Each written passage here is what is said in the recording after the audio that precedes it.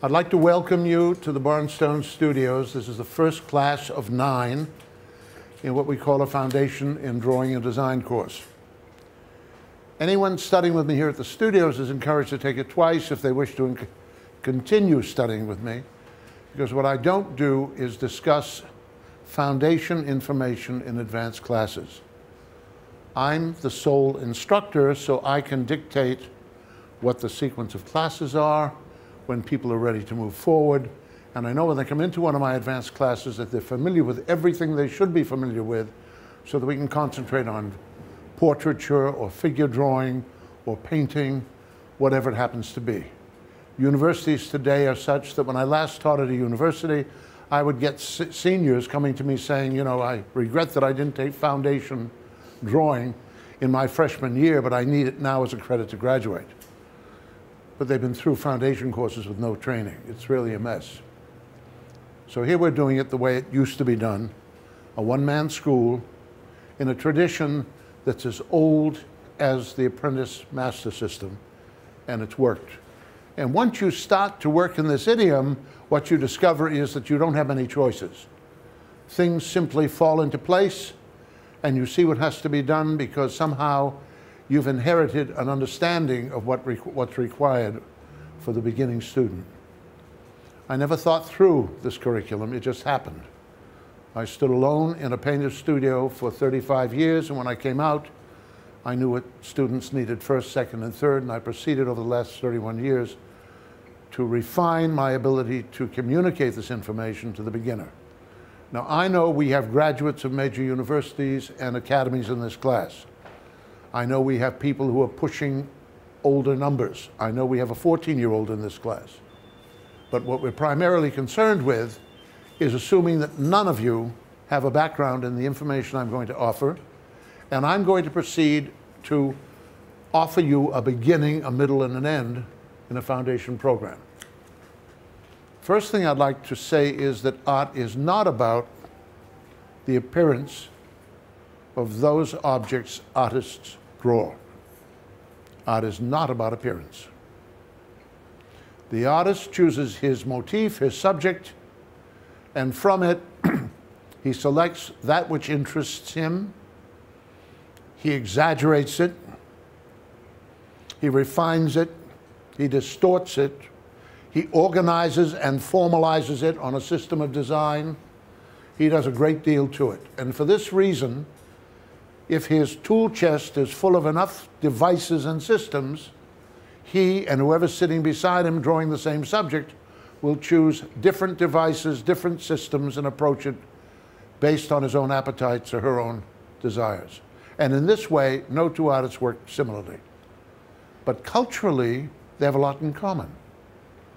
Chinese 19th century painters would all work in an idiom that wouldn't look like 19th century French or German. So we inherit certain traditional movements and philosophies and systems. African artists are using all the systems that the West is using, the golden section and all kinds of formalized systems as well. However, their purposes are different, very different. So let's assume that drawing is a mark-making code musical notation is a mark-making code. So too is the skill and code used by a choreographer or a football coach. Hmm? All of these people are making marks. And let's look at the limited alphabet of marks that artists use because it's extremely limited. It's extremely limited. We start out with essentially five. We've got a point which simply establishes location. We've got a horizontal line, we've got a diagonal line, and we have a vertical line, and we have an arc, a curve. Now, the interesting thing here really is that only two of those marks are found in nature. The dot, there's spots all over everything in nature, and curves. There are no straight lines in nature. So right from the beginning, artists understood that what they were doing was abstract. Those three lines don't occur. There are no straight lines in nature, none. And yet you're going to see that the artist uses straight lines far more often than he uses curves. because you can formalize, you can measure, you can inflect, you can relate straight lines more easily than you can curves. Curves pre present all kinds of complications. So we have these marks, and each one, if you give them some thought, represent a mood. If you were to design a piece, sculpture, painting, drawing, with the dominant direction being the horizontal, it would be calm, it would be relaxed, it would be quiet. It's already a mood. The diagonal is phallic. The diagonal is masculine. The diagonal looks like somebody charging with a lance. Hmm?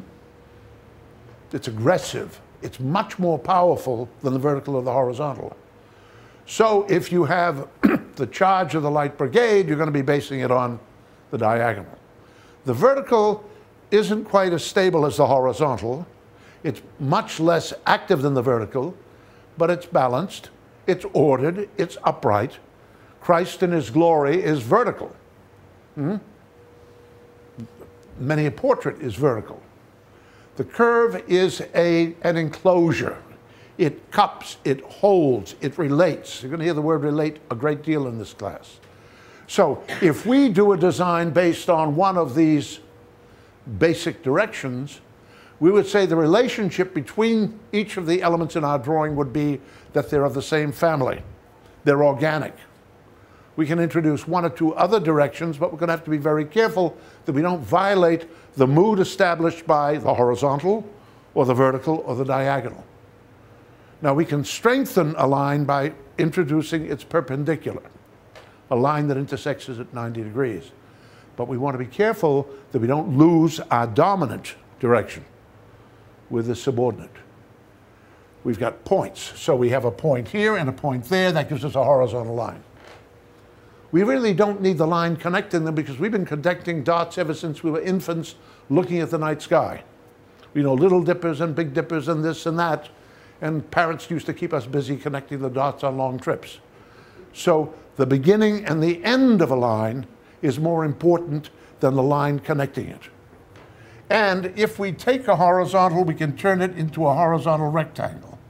A dia diagonal becomes a triangle or it becomes a cone. The vertical can be a, a vertical rectangle and the curve becomes a circle. So we now have, I anticipated myself, this shouldn't be here. We now have two-dimensional figures. We've got a point, we've got a line, we've got a direction, and now we have two-dimensional figures, and we can turn those two-dimensional figures into three-dimensional figures. And now, now we have our cone, or we can introduce a pyramid.